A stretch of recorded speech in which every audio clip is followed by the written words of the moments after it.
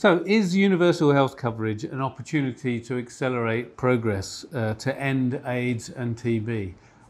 I think first we have to uh, qualify the question because, in some ways, ending AIDS and TB specifically, and other health priorities for that matter, uh, and achieving universal health coverage are essentially the same thing. Um, after 20 years of unprecedented investment, uh, attention, uh, and commitment to tackling AIDS, TB, and malaria, um, one thing is clear we have probably achieved all we can achieve using the current approaches. Um, more business as usual is unlikely to uh, take us further towards ending these epidemics. Um, we need to clearly do something differently uh, to move the dial in any meaningful way. And I would argue that there are three things that we need to do differently to achieve that. Uh, firstly, we need to approach health through a much more holistic model and even thinking beyond universal health coverage uh, and not just uh, individual diseases. And in my view, the best model we have currently available to us is one that's been put forward by WHO, uh, the World Health Organization, as part of their next five year plan. Um, in that plan, WHO suggests uh, a three part model for achieving uh, global health. In the first one, which really refers to universal health coverage, they're saying you know the, the there is a minimum package of uh, services of health technologies uh, and support that, that people need when they're accessing the health system. So that's the first part of the model.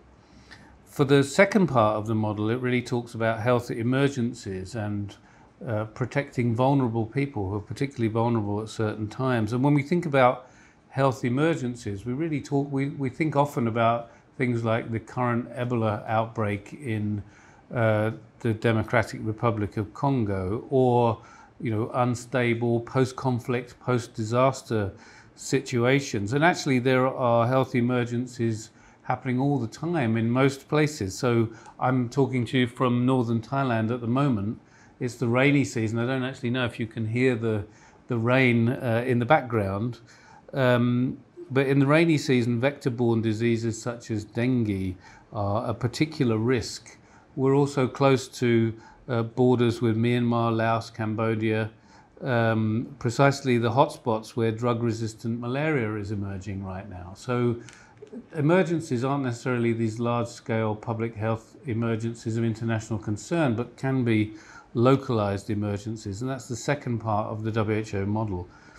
The third part is really related to general health and well being as opposed to addressing ill health. And it's related to addressing some of the social, environmental, and commercial determinants of health.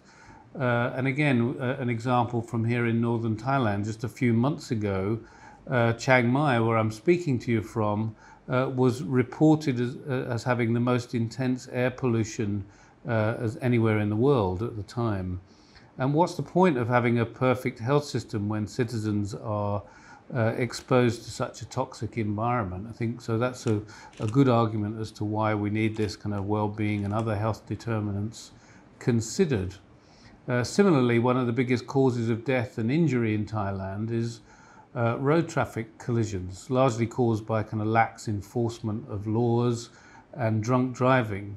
Again, what is the point in perfecting a health system and universal health coverage when thousands of people die as a on the roads each year? There's no point. So I'm drawn to this kind of three part model of health because uh, this reflects the realities that affect people's health this is how people see their own health, not as one disease or health issue, but as a complex web of factors that affect their health, well-being and vulnerability. And in my view, this is the only context in which ending AIDS and TB uh, can be accelerated. So the second thing I think we need to do differently is that individual countries need to uh, prioritize the health issues they will focus on. This means uh, prioritizing certain areas of research, for example, so we understand a given health issue uh, or a given health problem more, or developing specific capacities so that we know that the entire health system is working properly. uh, and delivers the services, vaccines, medicines, and support that people need. Because for too long, priorities have been set by a combination of national health planning and international concerns, particularly in countries most dependent on international development assistance for health. Um, and that is decreasing as countries take more responsibility for domestic financing of health um, and, and, are taking more of the driving seat uh, more than ever in setting priorities.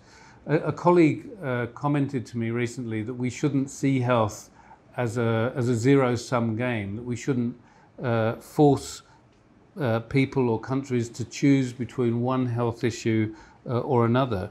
But the reality is that resources are finite. Uh, priorities do need to be set, and that means you know difficult decisions need to be made uh, at certain times, and that should all be done. What I'm saying is that should all be done on the basis of rigorous uh, national planning and assessment, uh, which would include prioritisation of AIDS and TB and ending those diseases alongside all other kind of pressing health issues. So that's my second thing that I think we need to do differently uh, in order to, to really end uh, AIDS and TB. Um, the third area that I think must be improved is at the international level. And um, with multiple organizations and interests kind of vying for attention, vying for financing to make sure that their issue or focus has prominence, we've kind of inadvertently created a kind of an environment of competition among organizations. Uh, that means in reality that we quite often do pit one disease against another, AIDS against TB or cancer or diabetes uh, or vaccine present preventable diseases in children, for example.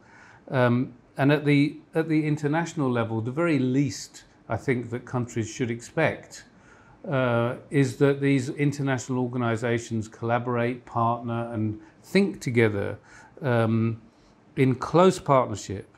And a new, um, a, new, a new global initiative that started over the past six months or so called uh, the Global Action Plan for Healthy Lives and Well-Being for All um, seeks to improve the way and force these organizations to work more closely together.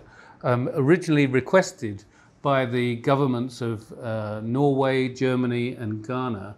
We will hear more about this plan and it will be kind of revealed at the high level meeting on universal health coverage in September. Um, this should bring a new level of thinking together, of dialogue among these 12 UN, UN and other agencies so that countries can depend on uh, consistent and aligned support from across the international system. That's really important. So these are the three major things we need to do differently to make tackling global health issues such as TB and AIDS uh, more feasible. They include universal health coverage, but we need to go beyond UHC to have any real chance of succeeding against these diseases and achieving health for all. So, so let me return to the original question, which said, is universal health coverage an opportunity to accelerate progress to end AIDS and TB? Well, UHC specifically, I would say yes, but it's a limited opportunity on its own. And to have any real chance of success against the most pressing health issues countries that countries, communities, and individuals face, including TB and AIDS, we will be by thinking about health in a much broader way, in much the same way as the WHO 3 billions plan uh, does. It should be a plan for global health, I think, not just for WHO. So apologies that I can't be there in person today to uh, take any comments or questions. Um, I'd be happy to do so uh, remotely and I'll include my email at the end of the presentation uh, so you can do so, so you can send me any questions or thoughts you might have. Uh, thank you and I hope you had a very uh, productive conference uh, there in Mexico. Greetings from Chiang Mai in Thailand.